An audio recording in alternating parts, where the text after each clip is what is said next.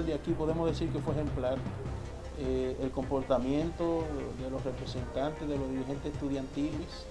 como de los mismos estudiantes que fueron a votar, de los,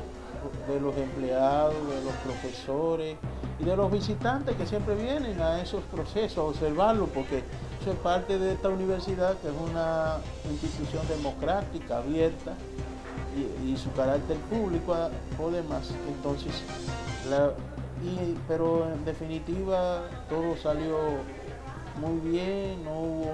conatos de violencia y eso podemos, por eso decimos que fue ejemplar el proceso que se realizó aquí en el recinto de San.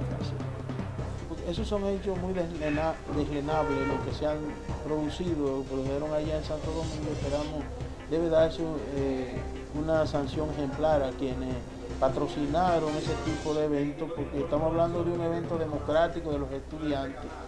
y no hay razón para que vengan a promover actos de violencia con la muerte de dos y más los, todos los heridos que están ahora internos o en su casa y entonces por eso pensamos que sí, que se debe aplicar todo el peso de la ley a los responsables de esos actos.